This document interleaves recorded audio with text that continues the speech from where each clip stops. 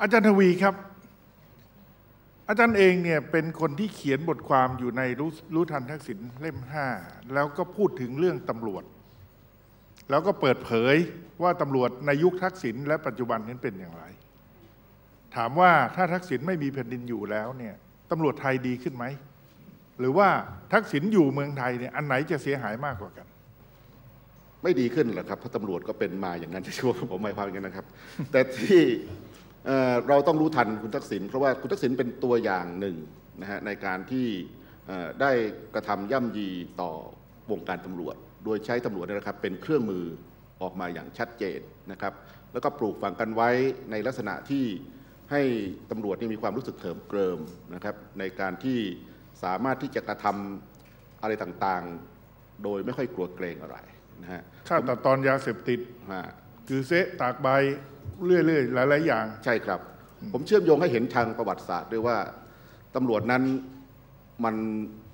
ปลูกฝังกันมานะครับ อย่างเช่นเราจะพบว่าในช่วงของเอ่อพลตำรวจเอกเผ่าศรียานนท์นั้นนะครับ ได้สร้างรัฐตำรวจขึ้นอย่างนี้เป็นต้น และตรงนี้นะครับก็ได้ใช้ตำรวจนั้นเป็นเครื่องมือของรัฐะในการที่จะข่มขู่คุกคามผู้คนเราก็เห็นแล้วว่าตำรวจที่อยู่ในเหตุการณ์ ไม่ว่าจะเป็น 7 ตุลา นะครับหรือแม้กระทั่งในช่วงสงกรานต์ที่ผ่านมานั้น มันมีลักษณะของการรับใช้การเมืองอย่างชัดเจนนะเพราะฉะนั้นสิ่งนี้เนี่ยผมจึงอยากจะให้ระมัดระวังอ่าคนที่มีอำนาจใครก็ตาม ผมคิดว่าตำรวจพร้อมที่จะรับใช้ใครก็ตามที่มีอำนาจนะไม่ใช่เพราะแต่คุณทักษิณแต่คุณทักษิณนั้นเนื่องจากเป็นตำรวจมาด้วยนะครับ แล้วก็อ่าเรียนรู้เรื่องของตำรวจมาเป็นอย่างดีเนี่ยเพราะฉะนั้นเขาก็ใช้ได้อย่างมีประสิทธิภาพครับ แล้วก็ปลูกฝังต่อมาในการที่จะให้อ่าริ้วล้อบริวารไม่ว่าคุณสมัครคุณสมชายอะไรเนี่ยรู้จักใช้ผมก็อันตรายครับแล้วแม้อยู่ต่างประเทศเนี่ยเขายังมีความสัมพันธ์กันไหมครับโอ้แน่นอนเลยครับ ผมคิดว่าในลักษณะของที่คุณทักษิณยังมีความโยงใยอยู่ตรงนี้ ผมในฐานะที่สอนรัฐศาสตร์เนี่ยนะครับ ผมมองว่าคุณทักษิณกำลังจะสถาปนาระบอบทรราชาธิปไตยนะครับ คืออ ริสตเติลเขาบอกไว้ระบบที่ดีก็คือระบบ philosopher king นะครับกับระบบทรราชนะฮะแต่เมื่อมาเทียบเป็นชั้นเดียวกันเนี่ยนะครับคุณทักษิณพยายามจะทำตัวขึ้นมาเหนือกว่าทรราชทั่วไป ในลักษณะที่ขึ้นมาเป็นราชาด้วยนะฮะราชานี้นี่ไม่ใช่เป็นกษัตริย์นะครับ ในทางความหมายการปกครองก็ไปถึงแค่หัวหน้า คุณทักษิณนั้นคิด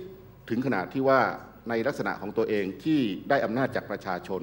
มากมายเนี่ยแล้วก็จะ มีอำนาจยิ่งใหญ่เนี่ยผมว่าตรงนี้แหละครับอันตราย แล้วก็ถ้าเผื่อเชื่อมโยงไปในการควบคุมกลไกของรัฐนะครับไม่ว่ารัฐบาลกระทรวงทบวงกรมกระทั่งตำรวจเนี่ยเห็นได้ชัดเจนครับว่าเป็นความพยายามของคุณทักษิณในการที่จะสร้างตัวเองให้ยิ่งใหญ่ ครอบครองประเทศ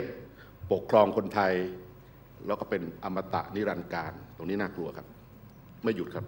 เมื่อสักครู่ได้ยินว่าอาจารย์ทวีบอกว่าตำรวจเนี่ย น่าเสียดายที่ตำรวจไม่ได้แสดงออกถึงความรักประชาชนอย่างแท้จริง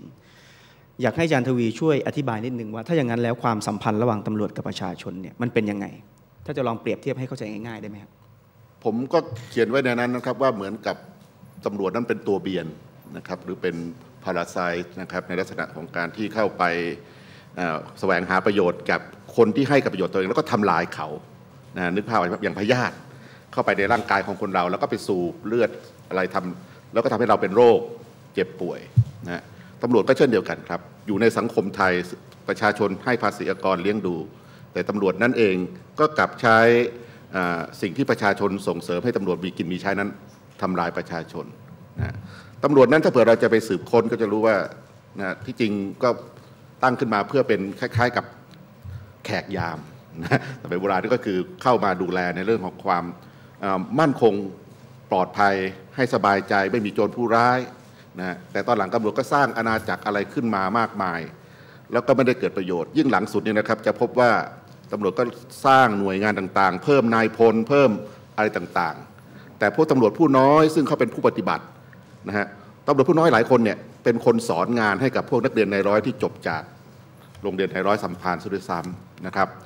แต่แล้วพวกนี้พอเป็นใหญ่เป็นโตไว้แล้ว ก็กลับไม่ได้ส่งเสริม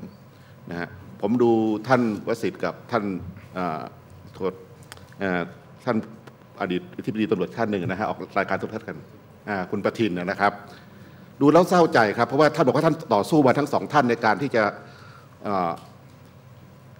แก้ไขภาพลักษณ์ของตำรวจตรงนี้นะครับ แล้วก็พยายามจะส่งเสริมตำรวจชั้นผู้น้อย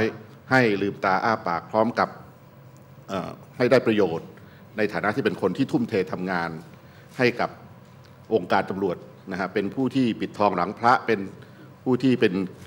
คนทำงานอย่างแท้จริงตรงนี้ แต่ท่านก็มาถึงตรงนี้ก็ยังรับว่ายังเป็นงานที่หนักนะครับ แล้วก็คิดว่าอาจจะไม่ได้ท่านไม่ทราบผมจะจับความผิดว่าจะเห็นในชีวิตนี้หรือไม่ก็ไม่รู้ว่าตำรวจจะจะเจริญรุ่งเรืองขึ้นอย่างที่มุ่งหวังนะครับ นั่นหมายถึงตำรวจชั้นผู้น้อย เพราะฉะนั้นผมก็อยากจะจะ ให้ให้ให้ข้อมูลว่าในสิ่งที่ผมได้เขียนลงไปนั้นก็เขียนจากความรู้สึกของครอบครัวตำรวจด้วยนะครับ ซึ่งผมก็เป็นพ่อก็ตำรวจพี่ชายน้องชายตำรวจนะฮะเพราะฉะนั้นหมายความว่าอาจารย์เองนั้นเป็นครอบครัวเป็นตำรวจครับทั้งพ่อทั้งพี่ครับและทั้งน้องครับตกลงมีอาจารย์คนเดียวที่เป็นผู้ชายแล้วไม่ได้เป็นตำรวจ ไปซื้อใบสมัครให้แล้วครับพ่อแล้วผมแกล้งป่วยไม่ไปสอบเพราะไม่ไม่อยากเป็นตำรวจนะฮะ แล้วก็รู้ว่ามันมันจะเกิดอะไรขึ้นตรงนั้นนะเพราะฉะนั้นผมก็อยากจะพูดจากหัวใจของครอบครัวตำรวจว่า เราอยากจะเห็นตำรวจนั้นเอ่อได้รับการยอมรับจากประชาชน ผมไม่อยากให้ตำรวจถูกด่าทุกวันนะครับ แล้วก็เป็นที่ที่วิพากษ์วิจารณ์ถึงความเลวร้ายไปอีกนานครับ อาจารย์เทียบเมื่อกี้นี้ตำรวจกับประชาชนเหมือนพยาธิกับสัตว์ หรือตัวคนที่ถูกพยาธิเบียดเบียนครับ แล้วถ้าตำรวจกับนักการเมืองล่ะอาจารย์เปรียบเทียบกับอะไรครับ ก็เป็นลักษณะของพวกอ่าอะไรยกอะไรพวกที่หากินด้วยกันเป็นซิมไบโอซิสนะครับลักษณะอ่าพึ่งพาอาศัยซึ่งกันและกัน คือเหาฉลามกับฉลามไงใช่ครับ พวกนี้หรือหรือนกเอี้ยงกับควายอ๋อนะ